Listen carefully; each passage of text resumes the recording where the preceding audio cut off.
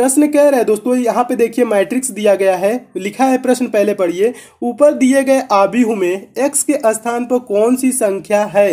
यानी कि कौन सी संख्या आएगी आपको बताना है एक्स कहाँ है? यहाँ पे है। यहाँ पे कभी कभी प्रश्नवाचक चिन्ह भी दोस्तों दे देता है, ठीक है? तो पूछा जाता है प्रश्नवाचक चिन्ह पे कौन सी संख्या आएगी, ठीक है?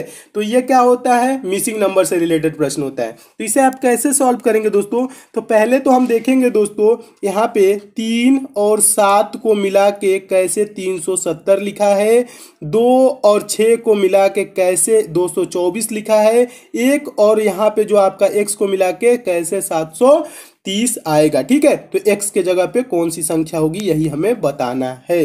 तो दोस्तों, इस टाइप के प्रश्न कभी भी आए तो आप दो तरह से सॉल्व कर सकते हैं। या तो आप दोस्तों ऐसे भी सोच सकते थे कि आप यहाँ पे तीन और एक को मिला के दो लाएँ या सात और सात और एक्स को मिला के छः लाएँ। और तीन सौ सत्तर, दोस्तों, तीन सौ सत्तर और सात सौ तीस को मिला के हम दो सौ चौबीस लाएँ। ये चीज़ हो सकता है, लेकिन ऐसे आपका नहीं आएगा। आपका आएगा कैसे, दोस्तों? तीन और सात को मिला के हमें क्या लेना है? तीन सौ सत्तर। तो तीन और सात को दोस्तों गुणा भी करेंगे तो नहीं आएगा। अगर जो दोस्तों हम तीन का क्यूब कर दे तो कितना हो जाएगा दोस्तों? तीन त्री का नी क्या हो जाएगा? सत्ताईस हो जाएगा। और दोस्तों सात का क्यूब कर दे तो कितना हो जाएगा? सात सत्य उनचास उनचास सत्य तीन सौ तैतालीस। तीन सौ तैतालीस और सत्ताईस जोड़ेंगे। तीन सौ दोस्तों, तैतालीस और सत्ताईस जोड़ेंगे तो क्या हो जाएगा दोस्तों? तीन सौ सत्तर हो जाएगा। क्या हो जाएगा दोस्तों? तीन सौ तैतालीस और आप कितना जोड़ेंगे दोस्तों? तीन सौ तैंतालीस और सत्ताईस जोड़ेंगे तीन सौ सत्तर। और तीन सौ सत्तर आपका कहाँ दिया है? बीच में दिया हुआ है। तो ये क्या किया? क्यूब किया। आगे भी देखेंगे दोस्तों, दो का क्यूब करेंगे तो कितना होगा? दो दुना के चार दुना का आठ। क्यूब का मतलब क्या होता है? तीन बार उसी संख्या से गुणा करना है। तो तीन बार गुणा करेंगे, दो दुना चार दुना का आठ हो जाएगा। और दोस्तों छः का क्यूब करेंगे तो छः छः छत्तीस छत्तीस के दो सौ सोलह। दो सौ सोलह और आठ। क्या जोड़ेंगे दोस्तों? दो सौ सोलह और आठ जोड़ेंगे तो क्या हो जाएगा?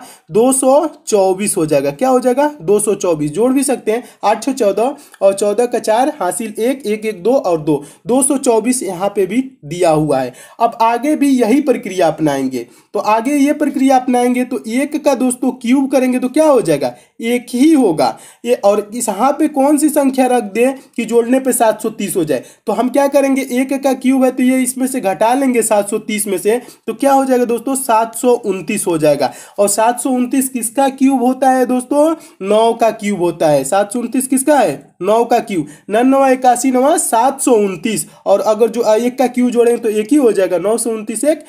सात सौ उनतीस हो जाएगा दोस्तों। नौ का क्यू क्या होता है? सात सौ उनतीस होता है, ठीक है? और एक का क्यू एक ही होता है। सात सौ उनतीस और एक जोड़ेंगे तो सात सौ तीस हो जाएगा। तो यहाँ पे दोस्तों कौन सी संख्या भरी जाएगी?